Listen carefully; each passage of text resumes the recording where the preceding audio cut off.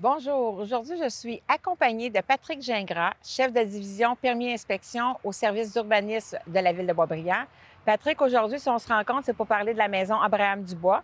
Oui. On s'en va vers une consultation, l'ultime consultation. Donc, est-ce que tu peux m'en dire un peu plus? Oui, bien en fait, en 2019, il y avait déjà eu une consultation qui avait été euh, faite. Euh, suite à tout ça, il n'y a pas eu de consensus pour euh, ce qui allait arriver avec la- justement la maison Abraham Dubois. Donc, ce qu'on a fait, c'est des études, études euh, archéologiques euh, au niveau structural, architectural, puis aussi euh, une analyse des coûts de restauration. Donc, c'est ce qui va être présenté aux citoyens.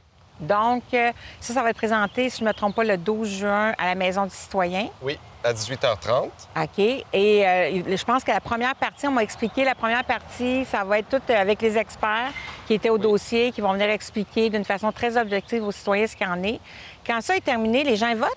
Mais en fait, ce ne sera pas un vote. Euh, ça va être une consultation qui va être faite auprès des citoyens. Puis cette consultation-là, ça va être sous forme de table ronde. Donc, euh, il va y avoir des discussions, des échanges, puis euh, les citoyens vont pouvoir euh, faire part de leurs opinions, de leurs idées.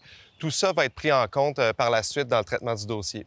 Je pense que ce qui est important de comprendre aux gens qui vont choisir de se présenter, c'est que ça se veut totalement euh, démocratique. Fait que c'est très important que les gens puissent s'exprimer, peu importe leurs opinions. C'est pour ça qu'on voulait que les gens aient toute l'information en main. Donc, euh, aussi pour ceux qui ne peuvent pas le 12 juin être présents, à partir dès le 3 juin, vous allez avoir en ligne, puis même pour les gens qui vont se présenter, c'est bien de se préparer aussi.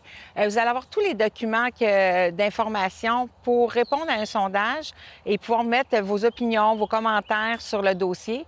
Donc, c'est du 3 juin au... 21 juin. Ça, c'est en ligne. Oui, c'est en ligne. En fait, c'est sur la plateforme On Jase du site Internet de la Ville de Boisbriand. Bon. Et aussi, même, vous pouvez euh, obtenir des copies papier, donc euh, à l'Hôtel de Ville ou à la bibliothèque. Bien, c'est un bon point parce qu'on sait qu'il y a des gens qui pourraient être moins à l'aise avec euh, d'aller sur le web. Fait que donc, vous allez pouvoir euh, vous prononcer aussi.